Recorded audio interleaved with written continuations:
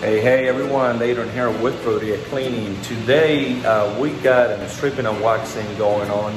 Uh, we're at a Humana building. I'm in a break room.